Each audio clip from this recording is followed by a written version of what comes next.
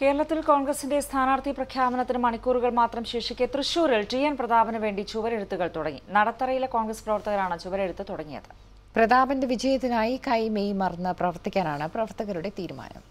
ഔദ്യോഗിക പ്രഖ്യാപനം വന്നിട്ടില്ല. പക്ഷേ തൃശൂരിലെ കോൺഗ്രസ് പ്രവർത്തകർ ഉറപ്പിച്ചു കഴിഞ്ഞു. സ്ഥാനാർത്ഥി ടി എൻ പ്രതാപൻ തന്നെ. നടത്തറ പൂച്ചട്ടി തുടങ്ങിയ സ്ഥലങ്ങളിലെ വിവിധ ഭാഗങ്ങളിലാണ് പ്രവർത്തകർ ചുവരെഴുത്ത് തുടങ്ങിയത്. നേരത്തെ തന്നെ ചിഹ്നം വരച്ചു വെച്ച മതിലുകളിലാണ് പേരെഴുതുന്നത്. വരും ദിവസങ്ങളിൽ പോസ്റ്ററുകൾ പതിച്ചു തുടങ്ങും. ഞങ്ങൾ ആരംഭിക്കുന്നു. ഞങ്ങൾ ഞങ്ങളുടെ ആവേശമനുസരിച്ച് ആരംഭിക്കുകയാണ്. ഞങ്ങൾ ഞങ്ങൾക്ക് ശുഭാപ്തി വിശ്വാസമാണ്. ഞങ്ങളുടെ ശുഭാപ്തി വിശ്വാസമാണ്. പ്രധാന ആയിരിക്കും സ്ഥാനാർത്ഥി എന്ന ശുഭാപ്തി വിശ്വാസമാണ് ഞങ്ങൾക്കുള്ളത്. ഡി സി സി പ്രസിഡന്റായ പ്രതാപൻ മത്സരരംഗത്തെത്തുന്നതോടെ ഇടത് സ്ഥാനാർത്ഥിയായ രാജാജി മാത്യു തോമസിന് കാര്യങ്ങൾ എളുപ്പമാവില്ലെന്ന് പ്രവർത്തകർ പറയുന്നു. കഴിഞ്ഞ ദിവസം തൃപ്രയാറിൽ രാഹുൽ ഗാന്ധി പങ്കെടുത്ത ഫിഷർമാൻ പാർലമെന്റിന്റെ പ്രധാന സംഘാടകൻ പ്രതാപനായിരുന്നു.